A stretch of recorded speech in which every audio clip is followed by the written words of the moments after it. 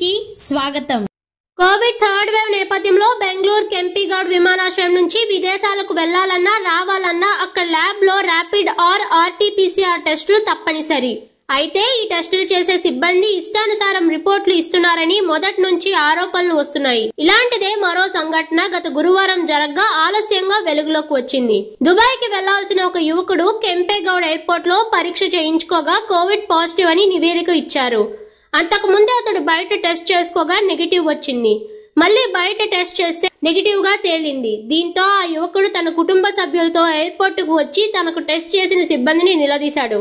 ఆ సమయంలో సిబ్బంది మధ్య మధ్యలో ఉండగా గొడవ పెరిగింది. తప్పుడు నివేదిక వల్ల దుబాయ్కి వెళ్ళలేకపోయానని ఆ నష్టాన్ని ఎవరు తీరుస్తారని బాధపడ్డాడు. ఈ గొడవ వీడియోలు వైరల్ అయ్యాయి. కాగా అడిగినంత డబ్బులు ముట్ట చెప్తే ల్యాబ్ సిబ్బంది ఎలా కావాలంటే అలా నివేదిక ఇస్తారంటూ ఆరోపణలు ఉన్నాయి. Thanks for watching our videos. Please like, share and subscribe to our channel.